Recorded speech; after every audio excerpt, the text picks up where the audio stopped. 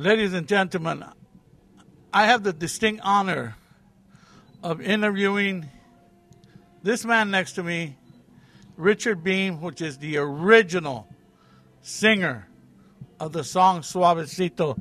Richard, how are you, sir? I'm doing fine, thank you. What an honor, sir, to, to finally meet you and to get this interview.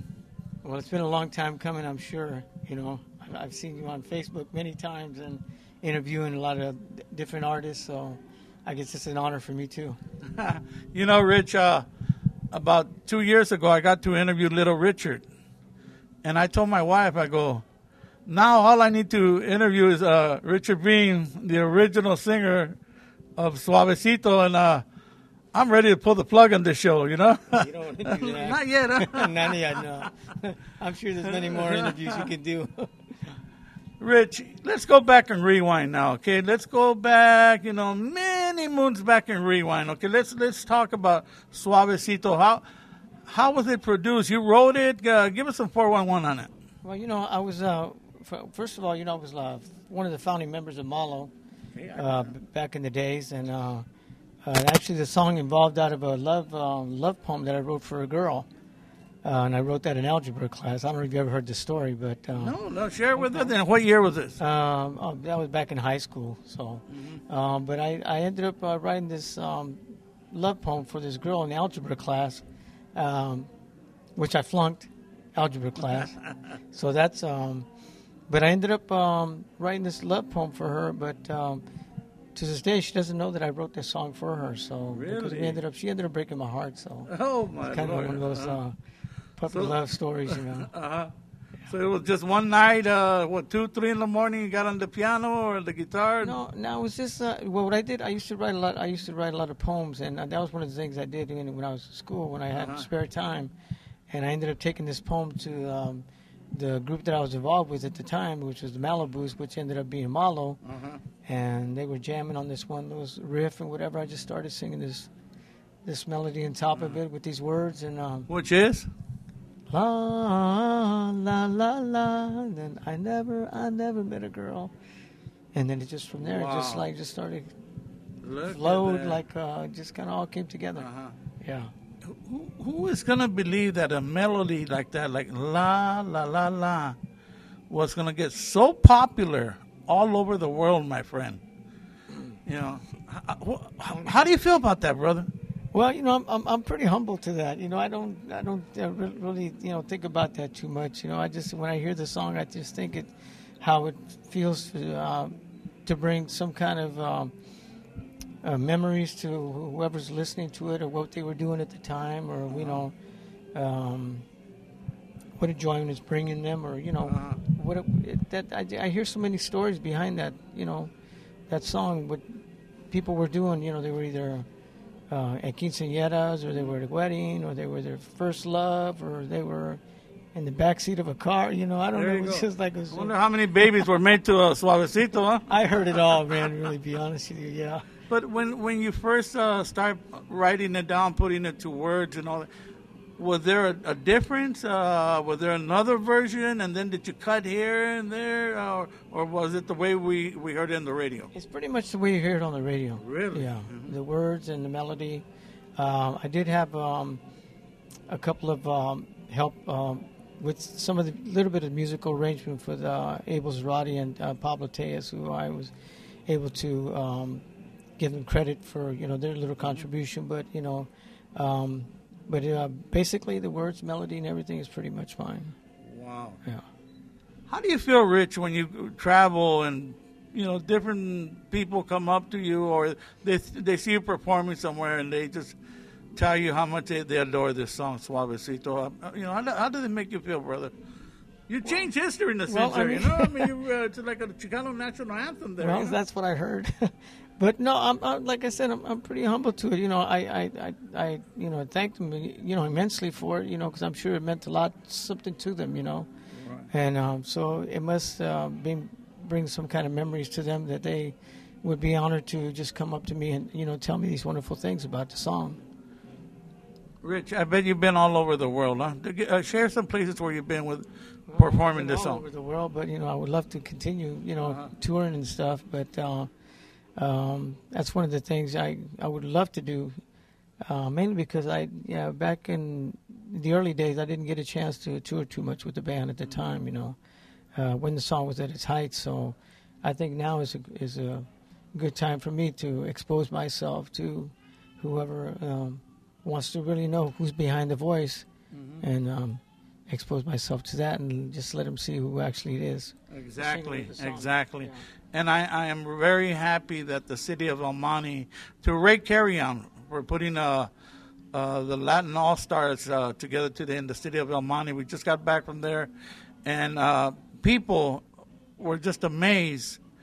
And uh, and to, to see the, the, the OG man, the, the OG of the song, um, it's just different generations that uh, just come up to you, right? And, Oh yeah, absolutely. I mean, for some reason, it just uh, seems like it just um, happens to be that way. I, there's always a new audience all the time. You know, when even with my band and the music that I've done, you know, back in the when, uh, I'm always getting people to come up and say, "Wow, you know, the first time I ever heard that song and it's beautiful," or you know, or it's great or whatever. So yeah, there's always somebody there that always comes up and say that's the first time they ever heard it, but they love it. You know.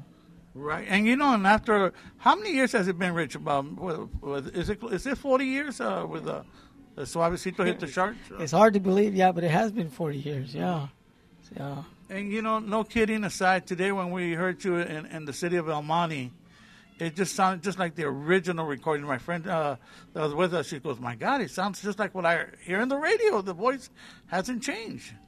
Well, I hope not. You know, you know, I hope I can continue. You know, singing. Uh, and you know, where I'm at uh, the the song. You know, to whoever you know enjoys listening to it for as long as I can. So you know, Yes. I'm going to continue doing that. So Rich, uh, I know there's a band called uh, Sugar Ray, and there's a I, I forgot the name of the song that they did, but in the song they go la la la la la. Uh, uh, yeah, it, it's called every morning. every morning, Yeah. right? Uh-huh. And uh, what the story behind that is um, Mark McGrath, who uh, came up to me and I, when he came to San Francisco. We were talking about that. He said, um, "What happened is they, they, they used to go to these car shows down at uh, um, from down yeah the Orange County or whatever, and they used to like always hear that song, and they said, "Man, maybe we can do something with that song with some of you know, some of the music we could put together." So they ended up putting that little hook in there. But uh, I got uh, quite a bit of credit for that song. Yeah, it, it, yeah, it earned me quite a like a triple platinum. You know, for yeah, that. Yeah. well, man, that, that- is so awesome. That, let's uh, let's go a little forward now. So then, you put your band together now, okay? Yeah, I Uh, got my band Sapo. Actually, I formed Sapo um, uh, back after um, years back when I formed after I left Malo. Uh, I formed Sapo with my br- uh, with my brother Joe, Joe Bean, and um, but you know through the times it's, it's, we've always gone through different musicians and um, just how that's how music is. Sometimes you get people that are dedicated, and some people that have to move on, and and you, that's understandable. But um, this band that I have now has been uh, probably the one of the best bands that I've had in a long time. So um, we've been together for you know, some of us have been together since you know like maybe um, over 15 years now. You know. Really? Yeah. Now with Sapo, you have a couple of uh, beautiful hits there too. A couple of beautiful songs, right? Uh, what's the name of them? And uh, share with us with th- those songs there. Well, um, one of them is uh, another one that's pretty much uh, popular, I guess, with uh, a lot of Chicanos is uh, "I Can't Make It," Right.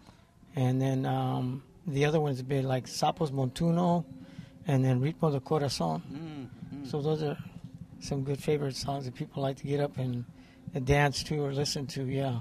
Again, now this is something you wrote. Yes. Uh, yeah. God, you're not only handsome, you're you're you're you're, a genius, my friend. Well, I don't know about genius, but I but I do like writing music and uh, Uh-huh. you know Well, singing. beautiful so. songs. Thank you, beautiful, yeah. beautiful. I mean, my wife goes crazy all the time. We we have to uh, play it over and over on the on the radio anywhere we're or on our, our CD player anywhere Well- we're traveling. You know. Well, that that that's a, well, that's great. You know, I'm glad she might get you moving too. you know. go. Yeah, give me a little action there. Uh, website, email. How could people? Uh, I'm, I'm on Facebook. You know, Okay, I'm working on my I'm working on my uh, website because it's been up and down. You know, uh, for a while. But uh, my Facebook page is always there. You know, Richard Uh-huh. Bean Suavecito. You know, Real simple. You can find me there. Richard Yeah, Bean that's there. Suavecito. Very you good. remember the old American Bandstand? Everything. Uh, you guys were different shows like that, right? Oh yeah, that was yeah, that was back then. You know when they had more more exposure. I think like especially for early bands that were you know trying to create something and had something to give you know to audiences. So yeah, you know Dick Clark was instrumental in, in doing a lot of that. You know bringing mm-hmm. good talent out in, in the beginning. So exactly. Rich, uh, any inspiring musician out there, uh, young man, young lady, that's uh, striving the pavement out there? What, what, kind of advice could you give them? Mm, I don't know. Today's world. Well, to me, I think inspiration is, you know, it, it comes in different forms. I think a lot of it is inspired by what you feel within yourself, you know, uh-huh. what you inspire to be, what you inspire to uh, portray yourself as to be. I mean, um, for myself, um, my inspiration, I guess, came from just just different moods that I had, you know, uh-huh. different um, relationships that I had, um, and it's sometimes I, I put myself in somebody else's shoe and try to write like what they would feel like if I was singing this song, if they could relate to it. So it's either happy or it's sad, you know. So. Mm-hmm. So then uh, you would say, go ahead and, and write your lyrics, write your original music. Then, right? What I would say is just don't give up on yourself. Uh-huh. You know, if you have a dream and uh, just go for it. You know, I, I mean, yeah, just uh, don't ever give up on yourself. You know. Wow, Rich. Wow, man, and coming from from you, you know, we we take that uh, to heart because this song has been heard by billions of people out there and they love it 40 years ago, today, and tomorrow. You know, it's part of history, my friend. Not every cultura, every, every culture out there. Well, I'm really honored. I actually, you know, people tell me, yeah, I play that song all the time. You know, we, we learn that song all the time, and it's on YouTube from everybody. You can see, you know, has done that song. So it's it's it's a great uh, it's a great honor.